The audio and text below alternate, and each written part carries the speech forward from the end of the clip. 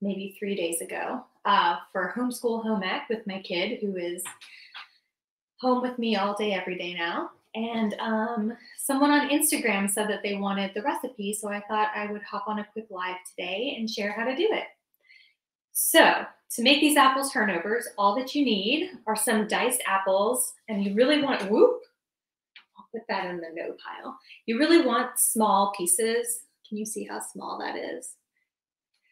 Um, big pieces just aren't going to work because each turnover really has a lot less apple in it than you would think. It just doesn't fit a lot because they're not very spacious inside. Uh, you also need just a little bit of cinnamon and brown sugar. This is probably more than is needed. It's like a tablespoon of brown sugar and like a teaspoon of cinnamon. Um, you're just going to sprinkle it on. There's no even measuring. This was a very messy project done with a seven year old. The other thing you'll need is a tube of vegan crescent roll dough.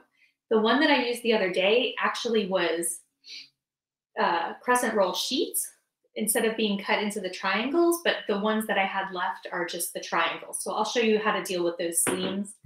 So you end up with a sheet, which is what you really need. Next, you'll need some sprinkles for decorating, optional, but so festive. And then um, a pizza cutter is nice, but you can use a butter knife if you don't have one for slicing the dough. And then you do need a fork to seal the edges. All right, so let's do this. First, break open your tube, which I guess I could have done in advance, but why do it in advance? There we go. And just pull that all out in one big piece. And then find the seam. Here somewhere. Here it is. And just unroll the whole thing as if it was one big old piece of dough. And then you'll see, I'll hold it up for you. Don't judge my baking sheet, we're on quarantine.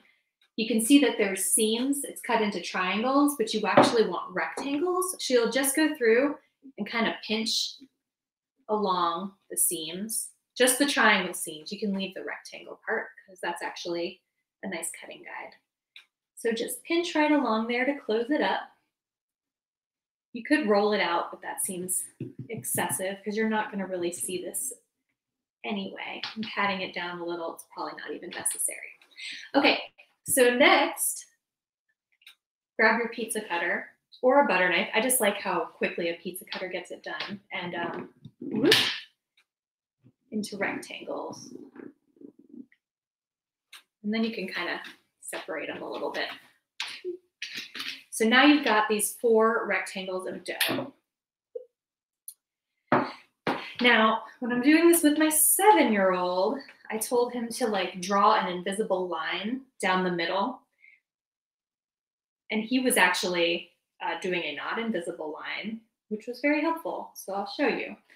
This is just like for a guide. See the little indent that I did with my finger? Because you only want to put apples on one side. And you also need to leave yourself maybe like a quarter inch around the edges because um, you want to seal these closed. You don't want everything to fall out. So I'll start by sprinkling a little brown sugar on each one and do it on the whole thing. Crescent roll dough is on the savory side, and I feel like apple turnovers are supposed to be a little more sweet. So I'm literally just like rubbing it in. And of course, I washed my hands first because I've washed my hands approximately 11 times today alone. So once you do that, it's apple time. And you want these apples cut into pretty small pieces because it really is like one tablespoon, maybe two tablespoons of apple. And you just place them on one side here. I actually remember in high school home ec, we made pizzas using crescent roll dough. And I remember just thinking that that was the most magical thing. Just what gave me the idea to pull out the crescent roll dough in our fridge to do a little home ec with my kiddo. Um, speaking of, he and my husband are home. So if you hear any weird noises in the background, that is my family living their life on a Wednesday. All right, so got the apples on there. I'm gonna try and show this to you without dumping out the apples, but you can see just little piles, like a tablespoon or two. Not too much because you don't wanna have the dough break on you when you fold it in half. All right, so then sprinkle a little more brown sugar on top. This is optional, but it's quarantine. We deserve a treat. Put some brown sugar on there. And then a little cinnamon too, just a little. You don't want to over cinnamon it, just like a pinch on each one. All right. And it's folding time. So just fold them right over like this. And then use your fork to press all the way around the edges to get a nice seal. And it gives you like this pretty, pretty decorative edge.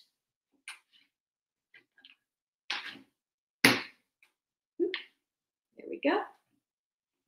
And then repeat that with the rest of your turnovers.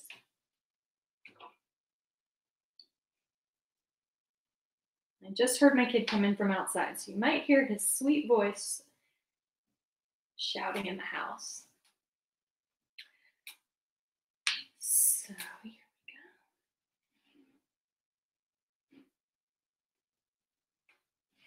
Two more.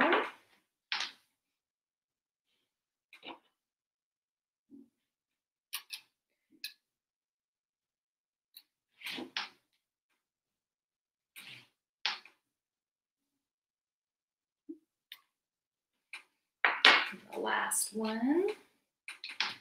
Yep. Oh boy, I lost some apples. Get in there, apples. Two brown sugar.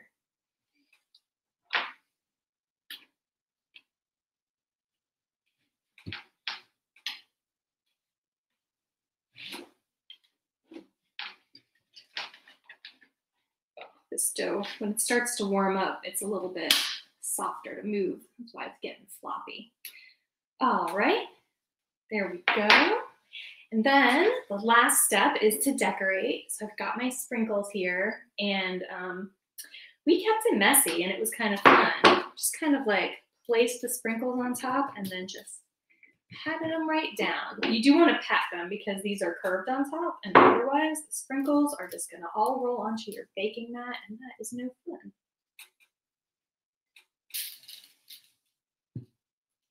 Really get into it because I seem to have grabbed a lot of sprinkles.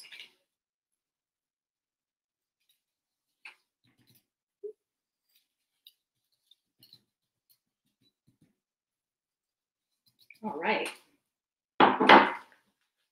So here they are. They are ready to go in the oven. They're all sprinkled up. So these go in the oven at 375 for think it's 12 minutes. You'll follow the instructions that were on the tube, which I'm just going to grab and cheat real quick. Whoop.